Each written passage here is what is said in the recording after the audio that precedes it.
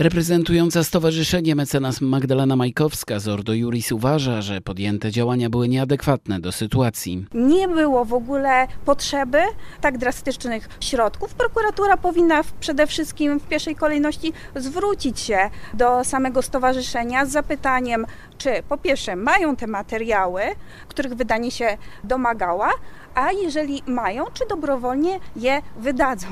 Takie pytanie zostało dopiero postawione po wyłamaniu zamków. Adwokat zwróciła uwagę, że w lokalu mają siedzibę też inne organizacje społeczne, które nie były poinformowane o przeszukaniu. W pierwszej kolejności będziemy się domagać stwierdzenia tego, że to było bezprawne i nielegalne, a w dalszej kolejności, jak tak stwierdzi, będziemy się domagać oczywiście odszkodowania za to, co się wydarzyło. Nie można wykluczyć również, że inne organizacje, które nie brały udziału w wczorajszych czynnościach, będą chciały tego typu kroki prawne podjąć. Krańcowo inną ocenę przedstawia Stowarzyszenie Nigdy Więcej. Według stowarzyszenia nie tylko podczas Marszu Niepodległości w 2018 roku miało dochodzić do wznoszenia transparentów i skandowania haseł łamiących zapisy kodeksu karnego. Anna Tatar ze Stowarzyszenia Nigdy Więcej powiedziała, że przepisy były łamane podczas tego zgromadzenia wielokrotnie. Także sam organizator marszu w jej ocenie łamał prawo. Mam nadzieję, że wreszcie kończy się bezkarność Roberta Bąkiewicza,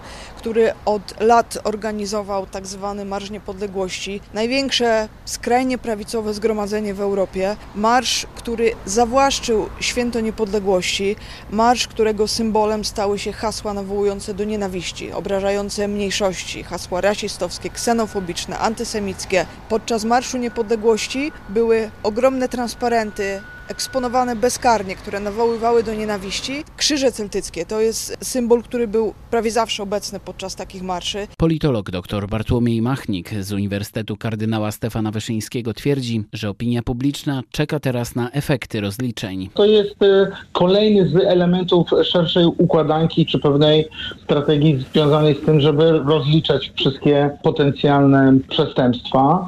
Natomiast e, też tutaj dodam, że mamy te decyzje, mamy informacje o pewnych działaniach, o procedurach, ale podejrzewam, że z czasem, a to już chyba no nastąpi niebawem, społeczeństwo też będzie chciało widzieć pewne efekty takie namacalne, kiedy rzeczywiście realnie dana sprawa zakończy się wyrokiem sądowym. Między innymi dlatego należy wypracować standardy działania w sprawach dotyczących agresji i nienawiści, uważa Anna Tatar ze Stowarzyszenia Nigdy Więcej. Jest ona członkinią zespołu przy prokuraturze krajowej, który to zespół jest odpowiedzialny za wytyczenie sposobów reagowania w takich sprawach. Ten zespół ma na celu poprawienie działań prokuratury dotyczących przestępstw nienawiści.